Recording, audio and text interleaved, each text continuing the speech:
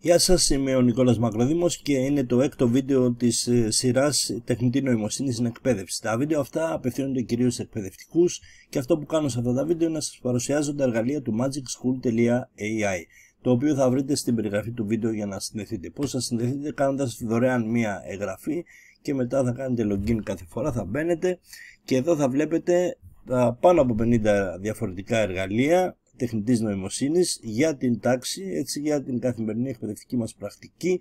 Αυτά που δοκιμάζω και μου φαίνονται χρήσιμα και ενδιαφέροντα, πατάω στο αστεράκι και πάνε πάνω στα αγαπημένα και έτσι τα έχω πάντα πιο πρόχειρα. Σας έχω παρουσιάσει πέντε διαφορετικά εργαλεία μέχρι τώρα. Σήμερα θα πάμε στο μάθημα των μαθηματικών και θα δούμε ένα εργαλείο που δημιουργεί προβλήματα μαθηματικών. Math Story Word Problems λέγεται και γράφουμε ε, με λέξεις λοιπόν δημιουργεί ένα ωραίο πρόβλημα ε, παραπάνω από ένα μάλλον όσα θέλουμε ανάλογα με το θέμα που θα το πούμε και την τάξη που θα το πούμε. Για πάμε να το δούμε στην πράξη. Λοιπόν, εδώ θα διαλέξουμε την τάξη. Να διαλέξουμε τρίτη δημοτικού. Ε, πόσα προβληματάκια θέλουμε, πόσες ερωτήσεις να έχει τρεις. Α βάλουμε τρεις έτσι για να δούμε το παράδειγμα. Εδώ μας ζητάει το το topic, δηλαδή το, τι μαθηματικά θέλουμε. Στην τρίτη δημοτικού μπορεί να θέλουμε να δοκιμάσουμε τον ε, πολλαπλασιασμό. Ωραία, πολλαπλασιασμός.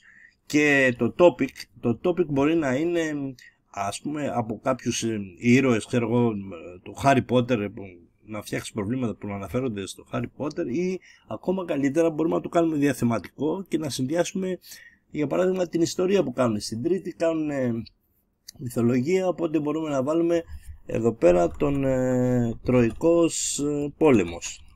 Και έτσι θα μας βγάλει προβληματάκια που να έχουν σχέση με τον Τροϊκό πόλεμο. Για να απαντήσουμε generate, να περιμένουμε τα πρώτα τα αγγλικά να βγουν και μετά να κάνουμε τη μετάφραση.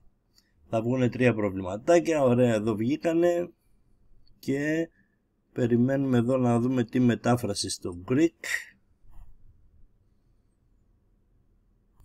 έτοιμη μετάφραση. Όπως έχω πει και σε, στα προηγούμενα βίντεο η μετάφραση εντάξει θέλει κάποιες ε, διορθώσεις πάντα ως προς το συντακτικό ή τη γραμματική.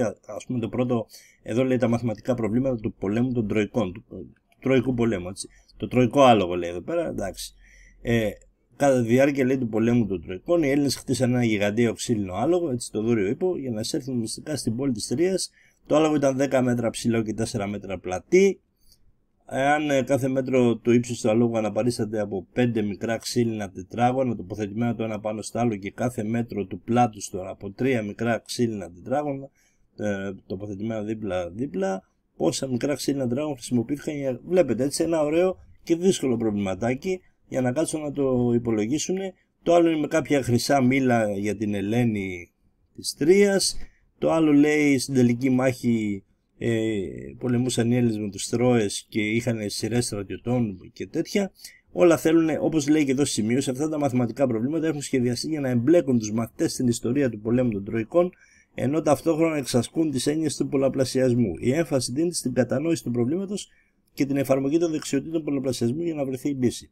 Φυσικά τα μετατρέπουμε, τα διορθώνουμε, τα προσαρμόζουμε στο επίπεδο της τάξης μας. Έτσι διαλέγουμε, παίρνουμε ιδέες, και τα αξιοποιούμε.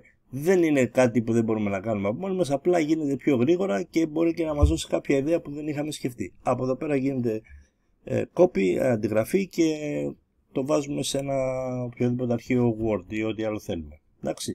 Αυτό ήταν λοιπόν το, το Math Story Word Problems ε, και γεια σας.